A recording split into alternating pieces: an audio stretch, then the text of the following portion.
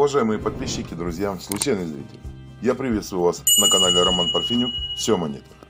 Друзья, в сегодняшнем обзоре мы проговорим с вами о дорогих двух копейках 1924 года.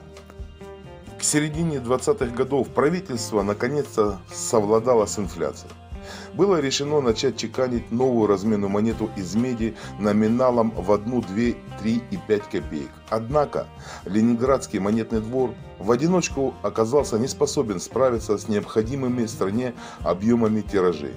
Тогда для чеканки монет привлекли мощности телефонного завода «Красная заря». И вот здесь произошло столкновение интересов, как сейчас принято говорить, хозяйствующих субъектов.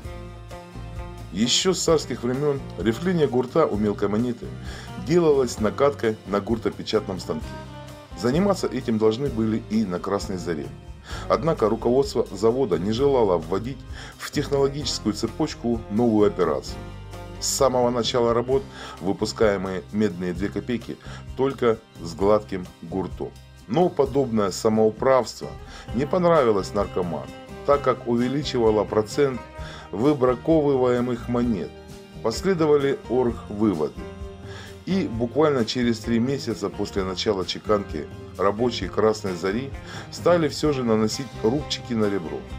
Но незначительная часть выпуска двухкопеечных 1924 года так и пошла с гладким гуртом в оборот.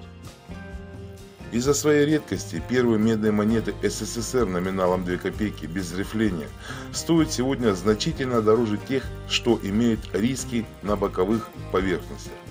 Если экземпляр с рифленым ребром оценивается в 300-400 рублей, то ценник на монеты без гуртовки начинается уже с 3000 рублей. И здесь важно внимание, нумизматом часто попадаются подделки со сточенным гуртом, которые на вес оказываются меньше положенного. Друзья, будьте внимательны. При этом, если гладкие 2 копейки 1924 года отчеканены вариантом штемпельной пары на аверсе клетки координатной сетки вытянуты вдоль меридианов. Ручка молота с просечкой и двумя узелками под датой тиража на реверсе. То у вас подлинный раритет со стоимостью выше 30 тысяч рублей. Больше среди медных двухкопеечников стоят разве что экземпляры следующего 1925 года. Их отчеканено оказалось совсем немного. До 50-х такие 2 копейки вообще среди коллекционеров считались э, несуществующими. Сейчас они выставляются на аукционах крайне редко. И итоговая цена на такие лоты зачастую поднимается свыше 100 тысяч рублей. Дорогие друзья, если вам понравился этот обзор, я прошу поддержать его лайком, подпиской. Если вы еще не подписаны на канал, подписывайтесь. Нажимайте на колокольчик, чтобы быть в курсе всех новинок и обновлений. На этом я буду заканчивать. С вами был Роман Парфенюк. Все о монетах. Всего доброго, друзья.